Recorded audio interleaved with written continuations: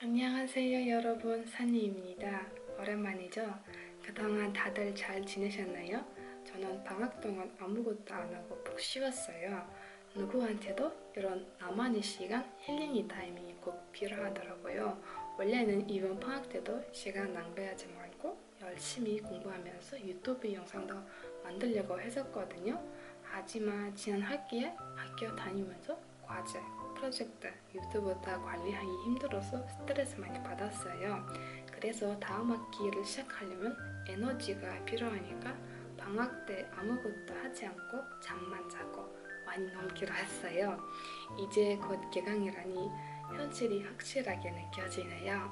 다들 알다시피 대학 생활을 하다 보면 학기마다 하고 싶은 거 아니면 새학기 기획 이런 거 꼭 있을 거라고 생각해요. 그래서 저도 이번 신학기를 알차게 보내고 싶어서 몇 가지 기획을 세웠어요. 이럴 때는 시간 관리를 잘해야 되죠. 나한테 주는 시간을 잘 활용하는 것도 능력이라고 생각해요. 그래서 제가 오늘은 이 영상을 찍게 된 이유는 바로 Notion이라는 앱에 대해서 소개를 좀 드리려고 해요. 작년 2학기 시작하기 전에 Notion 소개 영상을 만들었는데 그때 영어로만 설명을 해가지고 이번에 한국어, 영어 둘 다 하려고 해요. 그래서 영어가 필요하신 분들에게도 자막을 추가할 테니까 참고해 주시면 좋겠습니다. Notion은 업무와 일상을 모두 정리할 수 있는 훌륭한 tool입니다.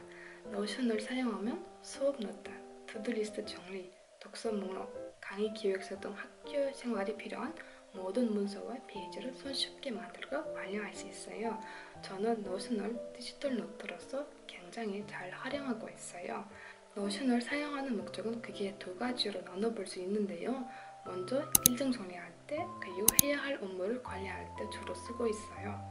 요즘 저한테는 없으면 안 되는 정도로 맨날 한 번쯤은 앱에 들어가서 일정 확인하고 해야 할 일도 메모하면서 잘 쓰고 있어요. 그러면 오늘은 제가 Notion 장점과 단점 그리고 Notion을 추천하는 이유를 다 설명을 하고 나서 제가 만든 Notion template도 보여드리도록 할게요. 영상 더보기란에서 노션 홈페이지와 제가 만든 템플릿 링크도 찾을 수 있어요.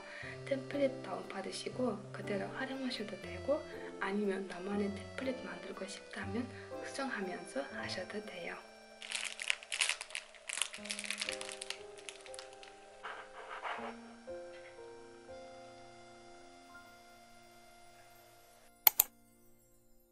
Notion 홈페이지에 접속하시면 요금제를 확인하실 수 있어요. 개인과 팀 요금제가 있는데 기본 개인 요금제를 무료로 쓸 수 있고 개인 프로 요금제도 학교 이메일로 가입하시면 무료로 쓸 수 있어요. 저도 학교 이메일로 가입해서 지금 개인 프로 요금제를 사용 중입니다.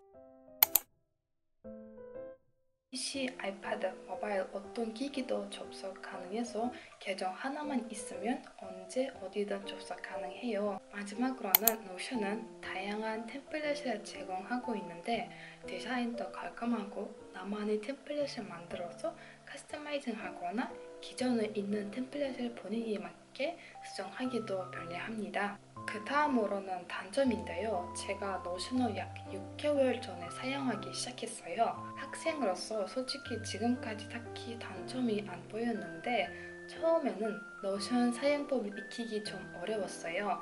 그래서 노션을 적응하려면 시간이 걸릴 수 있다는 점을 말씀드리고 싶어요. 그 다음으로는 제가 노션을 추천하는 이유는 노션을 한 번만 적응하고 나면 내가 왜 이런 변한 걸 이제 알았을까라는 정도로 되게 편해요.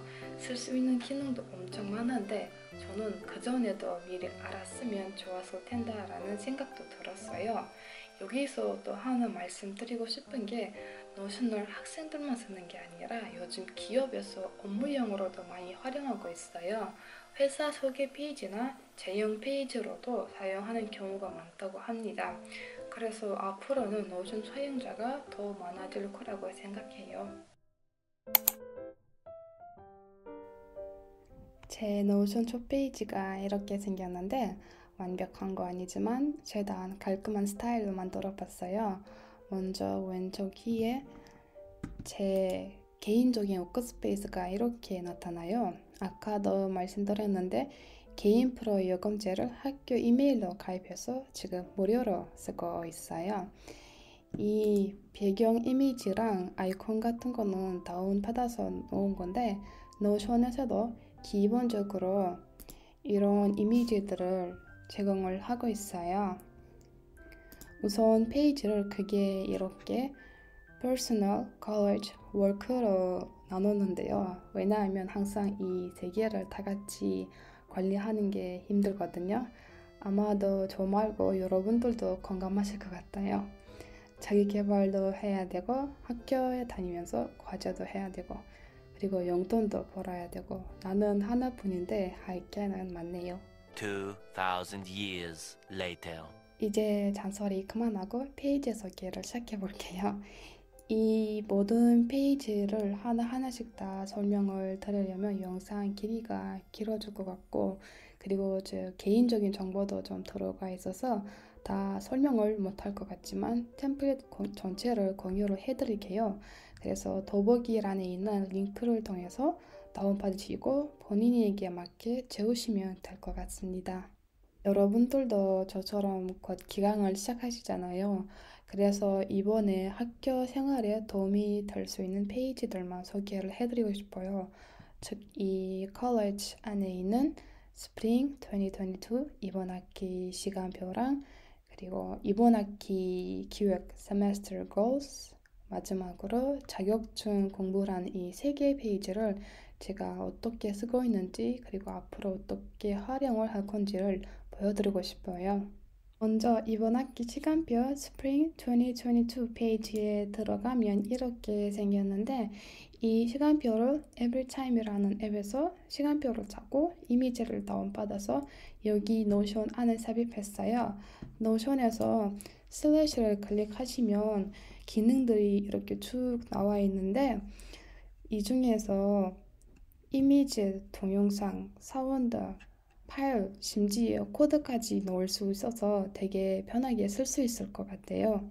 제가 이번 학기에 6개의 과목을 듣게 됐는데 그 중에서 capstone design이라는 과목이 제일 중요할 것 같아요. 왜냐하면 한 학기 동안 팀이랑 같이 프로젝트를 만들어야 해서 필요할 때마다 이 페이지에 메모하고 자료들도 넣고 표도 만들 수 있어서 프로젝트 진행 상황을 쉽게 확인할 수 있을 것 같아요. 나머지 과목들도 필요할 때마다 수업 노트 하거나 YouTube에서 수업 관련 동영상을 봐야 할 때가 있잖아요. 그런 경우는 링크를 미리 Notion에 넣어놓고 하면 유튜브에 들어가서 다시 찾을 필요 없이 여기서 바로 재생할 수 있어요. 다음으로는 이번 학기 기획 세메스터 골이라는 페이지에 들어가면 여기서 이번 학기 동안 그리고 방학 때 해야 할 일들을 적어놨어요. 거의 다 자격증 공부네요. 밑에 있는 두 개를 보여드릴 수 없어서 양해 부탁드립니다. 이제 마지막으로 소개를 해드리고 싶은 페이지가 자격증 공부라는 페이지인데요. 제가 다음 주부터 정보 처리 산업기술 필기 시험 공부를 시작을 하려고요. 그래서 며칠 전에 이렇게 공부해야 할 내용들을 다 정리를 해놨어요. 과목마다 페이지를 따로 만들었고 첫 번째 과목에 들어가면 이렇게 챕터들이 나와요. 예를 들어 1장 학습 날짜랑 끝내야 할 날짜를 기록해 넣었어요. 왜냐하면 이 시험을 벼락치기 하면 안 될 것 같아서 여기서 제일 중요한 게 1장에 들어가면 포모도로가 나오거든요. 예를 들어 오늘 날짜는 3월 1일이라고 치고 시간은 오전 6시부터 6시 40분까지니까 포모도로를 40분에 설정을 해놓고 그리고 오늘 공부할 내용도 쓰시고 등급 A인지 B인지 선택하시고 포모도로를 마지막으로 스타트 하시면 이제 40분 동안 집중할 수 있도록 도와줘요. 제가 뭘 공부하고 있는지 알 수 있고 40분 끝나면 10분 아니면 5분 정도 휴식하고 계속 이런 방식으로 공부하면 도움이 될 것 같아서 저도 한번 해보려고요. 여러분들도 한번 해보는 게 추천드립니다. 지금까지 Notion을 소개를 해드렸어요. 다른 페이지들도 궁금하시면 template 다운받고 보시면 될 것 같습니다.